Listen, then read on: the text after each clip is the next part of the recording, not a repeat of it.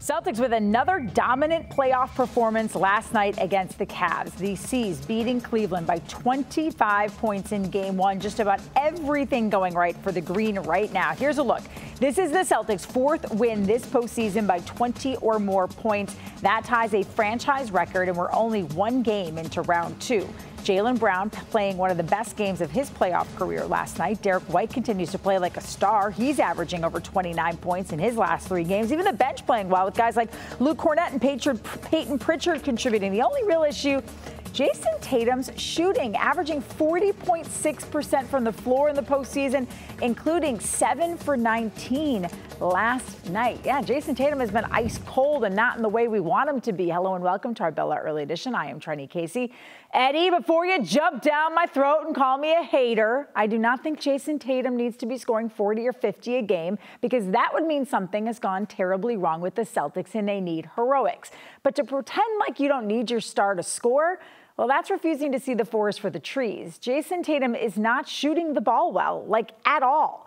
He's ranked 22nd in postseason scoring. He's averaging 21.2 points per game. His three point shooting is downright atrocious at 25%. I will say this, though. Tatum has adjusted like a champ.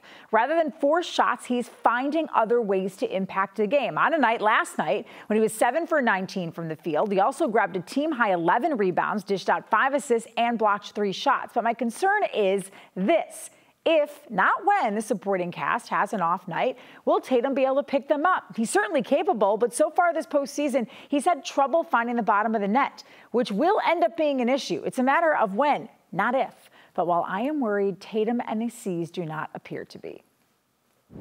I think he's uh, doing a great job of taking what the defense gives him and finding any way to impact the game on both ends of the floor.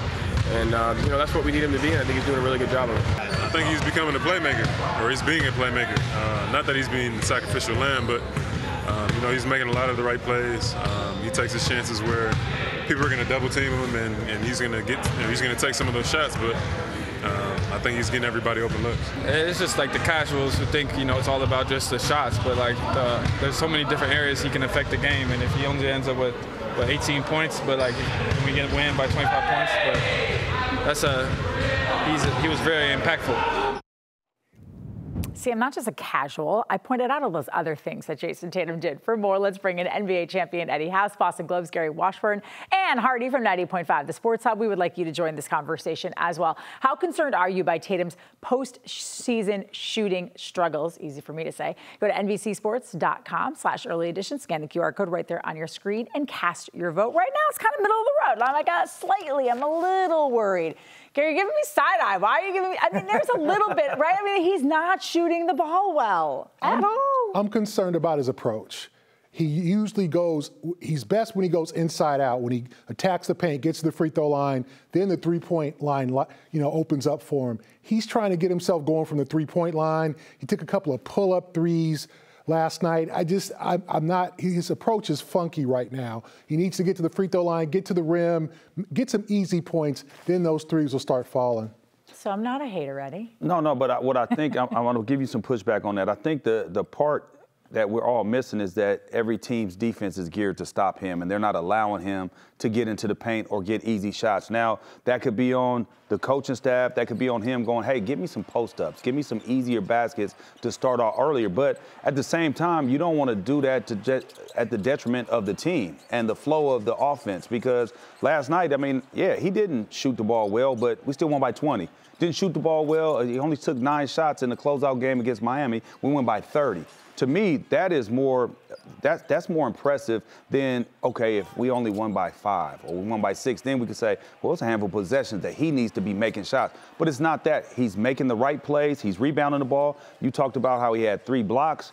I mean, I, I, think he's doing everything that he's supposed to do. And when it does come time for him to knock down shots, I believe in Jayson Tatum. I believe that he will eventually start knocking down those shots because he'll have those easy matchups. I guess, Hardy, where I get a little more nervous than Eddie is we all know that he can, but he's not the most consistent shooter. And when he starts out cold and hasn't found a rhythm, that makes me wonder what's going on. Well, I think that's a function of the playoffs being a different animal, and the defense locks down, like Eddie said. And what Gary said about the order. I think is really interesting. Instead of trying to work your way inside out, he may be starting outside What I fear is that he gets frustrated, and you see it every once in a while. You can almost set your watch by it when he decides at some point in the game, I'm going to back these guys down into the paint and I'm going to shoot no matter what. And that's when he refuses to do any of the stuff we're talking about. He said, I'm going to take this to the rim.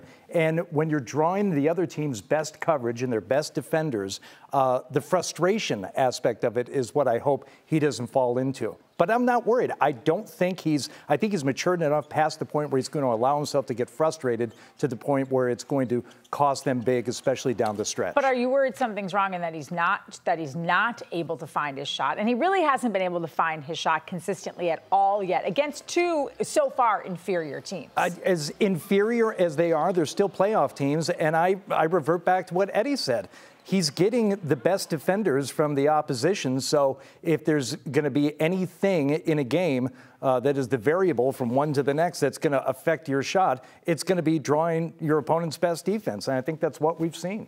Eddie, consistency has been an issue for him. How does he find a rhythm? How does he get into a flow? I think he just plays. Just continue to play the way he plays and, and lean on his teammates. The more his teammates play well, the, the more he'll see more gaps. Because the, in, in, that clip we just watched right there, every time that he even went to the basket, it'd be three bodies around him. Even when he had an ISO, here comes somebody else. So it's all eyes are on him, hands are everywhere. So he's been deferring and trusting his teammates. Well, that's the reason why they got uh, Jrue Holiday. That's the reason why Derrick White got traded for. That's the reason why they went and got Porzingis. That's the other reason why they signed Jaylen Brown to this long extension. When people didn't think that this was work, this is the reason why. He can defer.